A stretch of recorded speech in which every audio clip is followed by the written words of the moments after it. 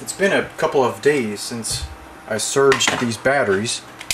Haven't done anything with them since surging them. I'm getting distracted on other things. But let's check out the voltage now. Uh-oh. That one's still zero. That one went back to being zero volts. This one's still good. Uh, that one looks like it needs to be charged, but it's not zero volts. That looks okay.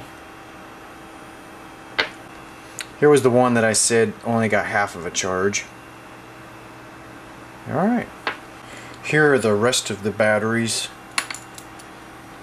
Uh, before recording this video, I already tested them uh, yesterday and they went back to zero volts. I'm just going to confirm that they're still zero volts.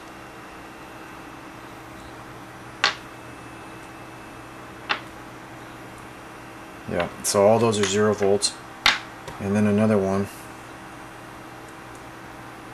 So all of these, I think I'm going to try surging again. But what about these five batteries that have been surged and have a positive voltage now? What if I put them in a flashlight?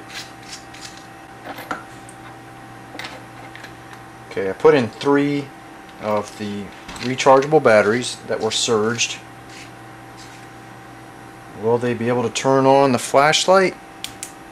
Yay, they actually do. But you can tell their flashlight is almost flashlight is very dim. But still, that shows that the, the batteries are letting electrons go through. So I think I'm going to charge these up. Let's try recharging these batteries. You know, it's working. I just chose the soft charging.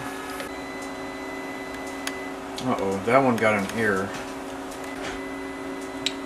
How about this one?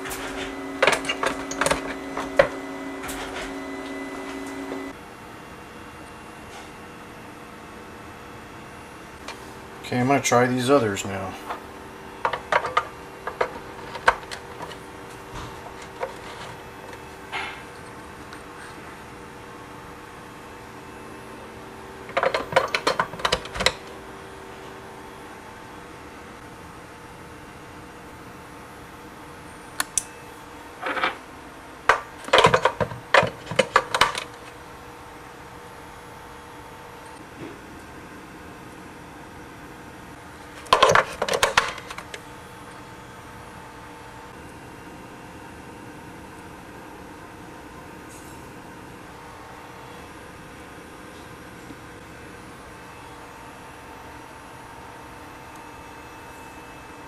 These batteries have been charging for about five minutes. Two of them have an error message, and one of them says it's done charging. I've placed the two batteries that gave an error on the charger inside this battery compartment. The batteries are now in series, and I am going to attempt to uh, light this LED with those two batteries.